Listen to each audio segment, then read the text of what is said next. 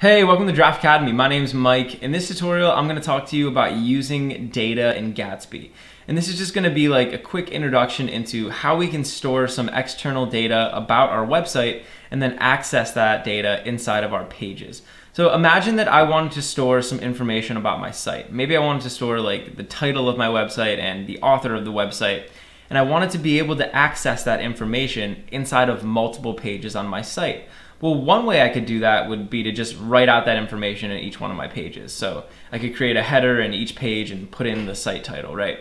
But here's the problem. If I want to then change that title, I would have to go through to every single page on my site and manually change the title. I'd have to do some sort of like a find replace. And that could be really messy and it could be potentially dangerous if not everything is like spelled the same or whatever. An easier way would just be to store the title of my website inside of a variable somewhere and then have all of my pages fetch that data and use that variable, right? That way, if I wanted to change the title, I would only have to change it in one spot and it would automatically update on all the pages in my site. So in this tutorial, I'm gonna show you how you can do something exactly like that in Gatsby. We wanna open up this Gatsby config JavaScript file.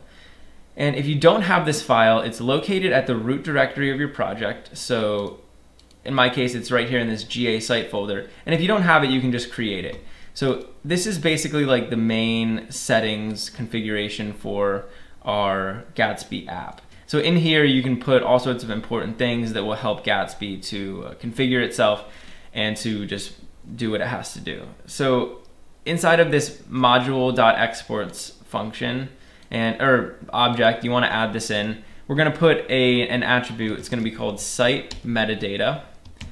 And this is going to be an object. And inside of this site metadata object, we can put any variables that we want to access about our site. So I could put like title and we could give our website a title. So we could say like Giraffe Academy's website.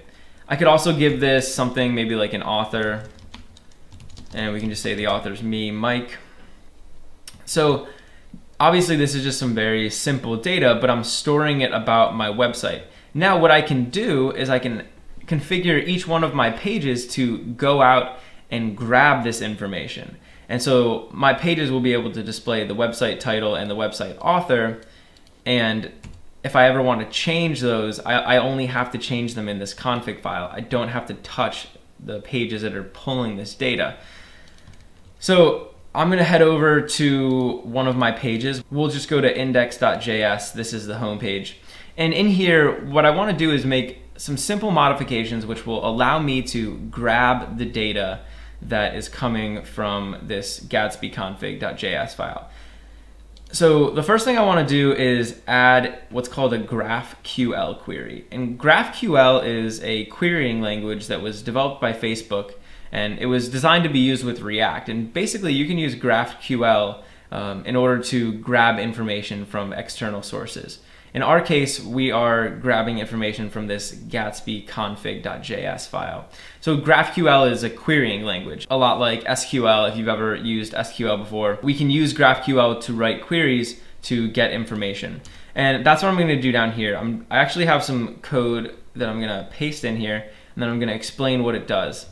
So this code that I just pasted in is actually a GraphQL query. And what this is doing is it's going out to that config file and it's grabbing the title and the author. So you can see it's just export const query is equal to GraphQL. And then we have this single quote and then there's another single quote down here and then we have the query which is just um, the name of the query up here and then we want to grab information about the site and the site metadata and the title and the author. So you, what you want to do is just paste this down into your file. So any files that you want to access the site metadata, you want to paste one of these GraphQL queries into there. And as long as you have this GraphQL query in here, we'll actually be able to access the information that's inside the site metadata. So once you have this query inside of your file, you want to come up here and I'm here at this export default and inside of these parentheses you just want to put two curly brackets and we're just going to type out data. And what this is going to do is it's going to inject the data from this query into our JSX. And so now we can actually access the data from the query inside of our JSX code here.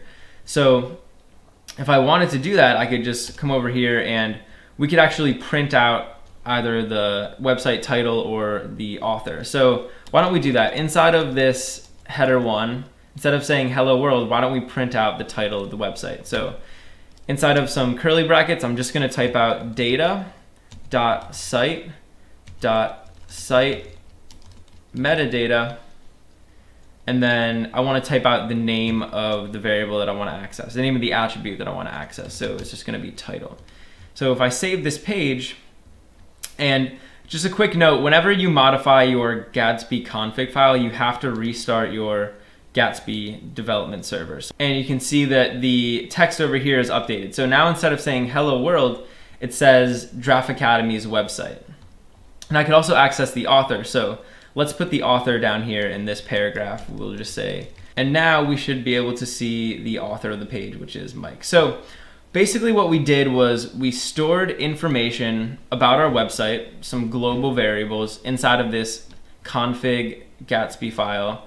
So we stored a title and an author, and then we were able to access that title and that author by running this GraphQL query, okay? And then that GraphQL query grabbed the data for us and injected it into our React um, function here, and then we were able to access them inside of the JSX. So that's sort of the flow of the data. Um, there's one more thing I want to show you, which is a really cool feature that we can use with Gatsby, which is called Graph IQL. And GraphiQL is something that I have open right here. And the way you access it is by going to localhost 8000 forward slash three underscores, and then GraphQL. And you actually don't need this query part right here. And this is a sort of a user interface, a, a GUI for testing out GraphQL queries. So inside of here, you could test out and write different queries that you might be writing. Obviously, the query that we wrote over here, this is a pretty simple query, but if you have more complex queries, then you're gonna wanna be able to test them out. So if I wanted to, I could actually test out a query here. So I could say, like, we could test out the query that we're writing on this page. So I could say site, and then site metadata, and then inside of here, I could try to access the, the title and the author. And you'll notice what I wrote here is basically just what I have down here. So I'm testing out this query and then I can run it and we'll see what returns back. So without actually putting this inside my website, I can test out the query and make sure that I'm getting the correct data back. So this GraphiQL uh, feature of Gatsby can be really useful for helping you to test out your queries and really just uh, supercharging your workflow. Hey, thanks for watching. If you enjoyed the video, please leave a like and subscribe to Giraffe Academy to be the first to know when we release new content.